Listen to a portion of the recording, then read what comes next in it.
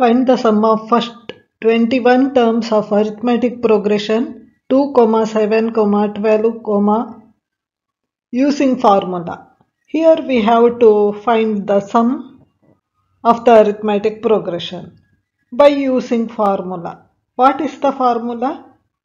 Sn is equal to n by 2 into 2a plus n minus 1 into d.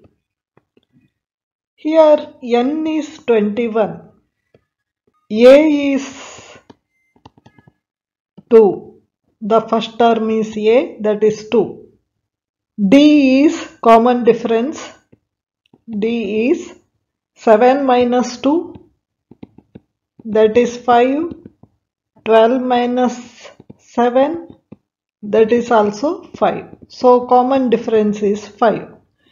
Now let us substitute the values in the formula to get uh, the sum of 21 terms. n is 21 by 2. 2 into a is 2 plus n is 21 minus 1 d is 5. 21 by 2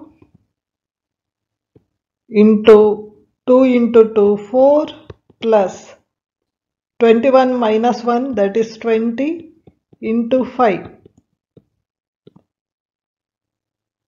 that is equal to 21 by 2 4 plus 20 into 5 what is it? 100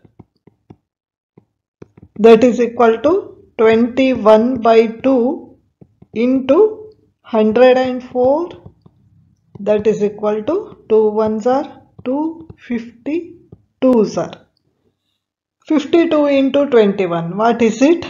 52 252s are 104 add these two.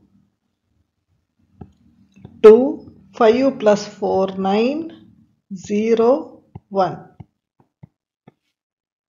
so sum of uh, 21 terms is 1092.